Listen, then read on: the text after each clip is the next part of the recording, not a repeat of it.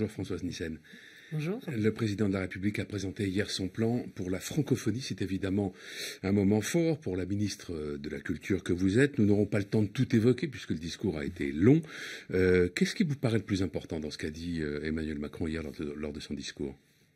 Euh, D'abord, merci, ministre de, française de la Culture. Je suis une ministre qui vient de Belgique puisque je suis franco-belge. Vous êtes une vraie francophone. Je suis on peut dire, un exemple de francophone. C'est-à-dire que je me suis euh, nourrie euh, du français. J'ai eu le français en partage et le français m'a amené à planter mes racines en France. C'est important parce que c'est ce qui m'a le, frappé dans ce discours. C'est le discours de, de quelqu'un, d'un homme vraiment engagé et engagé pour la langue. La langue, c'est le, c'est l'hospitalité, c'est le partage, c'est l'apprentissage, et c'est l'accompagnement, c'est le, c'est le berceau de la création. Et c'est ça qui a été évoqué. Pour, pour vous qui n'êtes pas née française, vous l'avez souligné, euh, comment vous voyez cette euh, passion euh, pour sa propre langue en France? Est-ce qu'elle est singulière? Est-ce que c'est une spécificité française? La, la, passion pour la langue française n'est pas une spécificité française. Chaque fois, et j'ai eu l'occasion de nombreuses fois d'être confronté à des artistes, à des créateurs qui viennent du monde entier et qui ont le français en partage, qui portent le français. Et souvent, le, français est une langue de désir et une langue de vie, et une langue qui se nourrit de leur langue là où ils sont. La, France est le seul pays francophone où il n'y a que le français. Hmm. La plupart des autres pays où se parle le français, il y a d'autres langues. Dans mon pays, il y a deux, langues de partout. Donc le français s'enrichit aussi de cette confrontation. Et c'est euh, une, une langue où de partage qui euh, permet la, diffusion euh, du, savoir et des œuvres. Et en, cela, elle, euh, de sa richesse, de, sa, de son utilisation par une quantité incroyable de créateurs dans tous les champs de la création, euh, c'est une langue de, désir aussi. Il y a eu dans le discours d'Emmanuel Macron un vibrant hommage au professeur de français qu'il a qualifié de héros, euh, un plaidoyer en faveur des bibliothèques, lieux de culture, d'accès à la littérature. Plus d'étudiants étrangers seront accueillis en France et une maison des étudiants francophones sera créée à la cité universitaire. Ce ne sont que quelques-uns des éléments de son discours. Qu'est-ce qui, qu'est-ce qui fait la ligne directrice de tout cela? Je reviens sur ce terme de hospitalité et partage. Euh, échange. échange. Et euh, on peut parler aussi de traduction que vous n'avez pas évoqué, qui est quand même euh, le, le, c'est la, la, langue de passage, c'est la langue de tous, la traduction. C'est ce qui permet de connaître l'autre, c'est ce qui permet la diversité culturelle. Sans traduction, on ne peut pas parler avec l'autre, donc on ne peut pas connaître l'autre. Donc c'est essentiel. Mais le, ce, ce, point commun euh, de l'accueil et j'insiste et je trouve qu'il y a une formule qui m'a particulièrement euh, touchée, c'est quand il a dit le meilleur titre de séjour, c'est la langue, l'apprentissage du français. Plus dans les d'enseignement, ça, dans ce cadre-là, pour les, étrangers, les migrants qui arrivent en France. Voilà, la, être doublé, voire triplé voire triplé, puisque aujourd'hui c'est quelques 200 heures. Il a parlé de 400 heures, voire 600 heures. Ce que je voudrais souligner ici, parce que c'est quelque chose qui, euh, qui, qui, existe déjà et qu'on va accompagner, et c'est le propos euh, du, du, ministère de la Culture, c'est d'accompagner cette ouverture des bibliothèques, c'est ce travail formidable qui est fait. Donc je citerai par exemple la BPI, qui accueille, qui oriente les gens, qui leur propose euh, de pouvoir apprendre le français.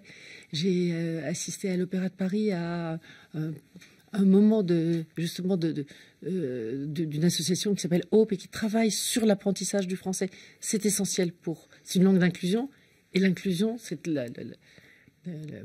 pleine possession de cette langue permet l'émancipation. Euh, Emmanuel Macron a parlé à plusieurs reprises dans son discours de la tentative hégémoniste de l'anglais, notamment à Bruxelles, c'est-à-dire à la Commission euh, européenne.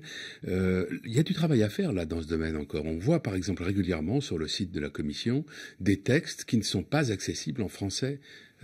comment la France peut-elle tolérer ça? Travaillons là-dessus. Les, les langues de travail sont pas que l'anglais. L'anglais est une langue de partage. N'en faisons pas un... Ce n'est pas le sujet. Le sujet, c'est vraiment d'appuyer et de soutenir le français partout.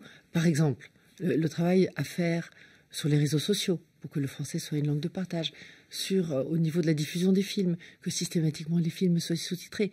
Voilà des actions très concrètes qui peuvent être faites et qui sont importantes. Le, nombre des étudiants étrangers, je disais, va être euh, augmenté. Vous, en savez plus d'ores et déjà sur euh, comment ça va se mettre en place, selon quels critères euh, tout ça un grand, Il a annoncé, c'est un grand plan qui se fera et qui sera annoncé au début de 2019. L'accueil des étudiants étrangers existe déjà mmh. dans toutes nos écoles d'art, parce que le ministère de la Culture a 99 écoles d'art s'occupent de 99 écoles pour euh, l'apprentissage de toutes les euh, disciplines dans le domaine euh, de l'art, de l'architecture, du design. Et c'est presque 35 000 étudiants. Et je vois bien, chaque fois qu'on va voir ces écoles, comment ces écoles aussi, non seulement accueillent, sont très demandées, mais s'enrichissent de la présence des autres étudiants et des étudiants de tous les pays. Une fois de plus, c'est exactement la même chose. Vous savez, c'est être ministère, ministre de la Culture, c'est euh, aussi se, préoccuper de, de, cette ségrégation culturelle qui est partout. Et cette ségrégation culturelle, elle pourra aussi s'atténuer par le partage de la langue et la confrontation à l'autre et la prise en compte de l'autre. Le combat pour la francophonie, a dit Emmanuel Macron, passe aussi par le combat médiatique. La France, je le cite, hein, peut s'appuyer sur France Média Monde, qui touche 135 millions de personnes. Nous devons parvenir à 150 millions. Alors évidemment, vous vous en doutez, c'est un hommage qui n'est pas passé inaperçu ici à RFI, ainsi qu'à France 24 et à Monte Carlo d'Oalia. Euh, a fortiori, dans un moment où les médias du service public s'interrogent, s'inquiètent parfois même de ce qui les attend dans le cadre de la grande réforme de l'audiovisuel public annoncée par euh, Emmanuel Macron. D'un mot d'abord pour notre chapelle ici à France Média Monde, puisque le président de la République annonce qu'il faut toucher plus de monde. On va plutôt dans le sens d'une augmentation des moyens que d'une réduction, donc, non, si je comprends bien. On va dans le sens d'une augmentation des gens touchés. Et c'est ça, c'est de cela qu'il s'agit. Vous parliez euh, des, chiffres pour euh, France Média Monde, effectivement, c'est 135 millions de personnes mmh. aujourd'hui par semaine. Vous le savez, c'est 100 millions euh, RFI, France Média, euh, France 24 et Monte Carlo Doualia, et c'est 35 millions sur le net. Donc, c'est le développement de toute cette façon de travailler en coopération et par les développements du numérique qu'il y aura aussi la possibilité d'étendre le nombre d'auditeurs et de, et de Français qui viendront euh, au contact de France Média Monde. Alors, au-delà de notre propre chapelle, euh, plus largement, donc, euh, où en est la réflexion sur la réforme? Est-ce que l'idée d'un grand ensemble de l'audiovisuel public avec une présidence commune, est-ce que cette idée-là est arrêtée ou pas? Il ne s'agit pas d'un grand ensemble. Il s'agit, vous savez, c'est un certain nombre de, sociétés. Mmh. Euh, sont des sociétés qui travaillent chacun dans leur domaine. Il y a France, euh, France Télé, il y a Radio France, mmh. euh, France Média Monde, mmh. Arte, Lina, TV5. Et l'idée, c'est que chacun fait des choses dans son domaine et jusqu'à présent ne travaillait pas tellement ensemble. L'idée, c'est de les amener à travailler ensemble, ce que nous faisons depuis l'été dernier, dans des, groupes de travail qui se réunissent régulièrement pour réfléchir sur les grandes missions. Parce que L'idée aujourd'hui, c'est que cette réforme, rappelons, elle est nécessaire. Euh, les choses changent. Le, paysage a changé. Aussi bien le nombre de, chaînes, 27 euh, chaînes de la TNT, une centaine sur les box, que les usages. Et il ne faut pas le, subir, mais au contraire, à la faveur de ce changement, créer et imaginer, ce qui est fait d'ailleurs euh, ici très clairement. Et donc l'important, c'est d'arriver à travailler ensemble et de les mettre à travailler ensemble. Donc, mais vous savez que parfois, le, terme, vous ne l'avez pas employé d'ailleurs, hein, mais on parle souvent de synergie.